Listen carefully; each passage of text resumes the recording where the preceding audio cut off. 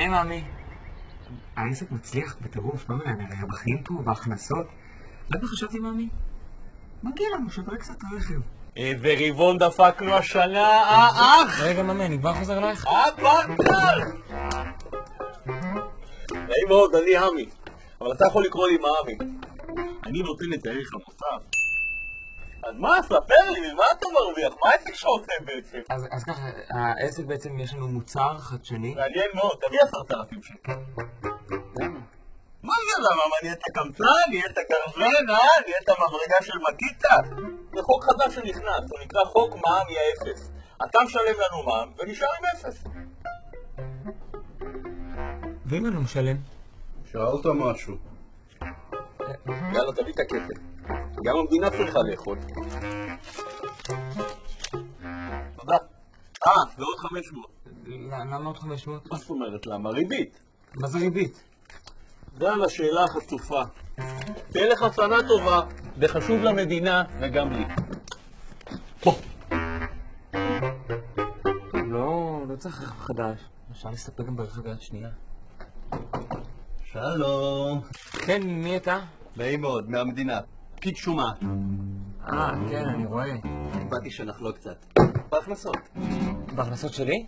תביא 20 אלף שקל. 20 אלף שקל? זה מס שולי. אתה הרווחת טוב. יש אנשים במדינה שאין להם. קצת סולידריות, בן אדם. סבבה? מה, איזה אנשים?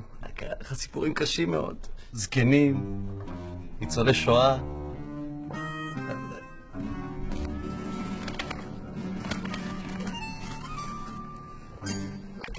ואתם תיתנו את הכסף הזה לנכים ולניצולי שואה. מה פתאום? אז לאן זה ילך? אל תדאג, הם יודו לך. ותדבר איתנו מתי שאתה רק צריך. אה, אה, איך אני יוצא איתכם קשר? מה הטלפון? איזה טלפון? אצלנו זה יחס אישי. מתי שאתה רוצה תגיע לסניף. בנצרת, בבוקר, ביום רביעי.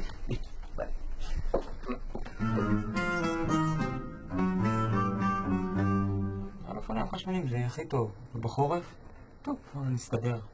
ביטוח לאומי, הביטחון שלי! נעים מאוד, ביטוח לאומי, תמיד לצדך ברגעים הקשים.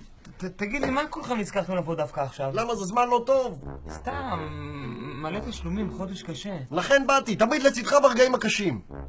אתה לא אמור להיות בעדי? לא בעדך, לצדך, 5,889 שקלים ו-20 אגורות בבקשה. 6,000 וואלה, כרגע היו פה שני חבר'ה, לקחו פה מלא כסף. אוקיי, אז אל תגלה, תמשיך לעבוד קשה, ונראה מה יקרה כשתפוצח, ותהפוך להיות אחר, לא רגע, רגע, רגע, רגע, רגע, רגע, רגע. זה נשמע חשוב לשם שינוי. אז אתם תדאגו לי אם אני אהיה נכה חס וחלילה? חס וחלילה, למה אין לך ביטוח סיעודי? מה, אתה קודם אמרת שאתם תדאגו לי. ואני? מתי אמרתי את זה? קודם, קודם אתה אמרת, כן, נראה מה יקרה שתהפוך להיות נכה, לא עלינו. זה בדיוק מה שאמרתי, תהפוך להיות נכה, לא עלינו. ביי גבר. רגע, רגע. קורה משהו, ואני צריך ליצור איתם קשר, מה עם מי נדבר? אנחנו ב-2018. שלח פקס.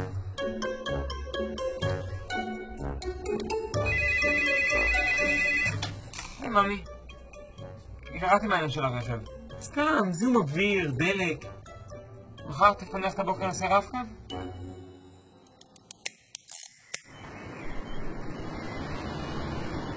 מה קורה, המלך?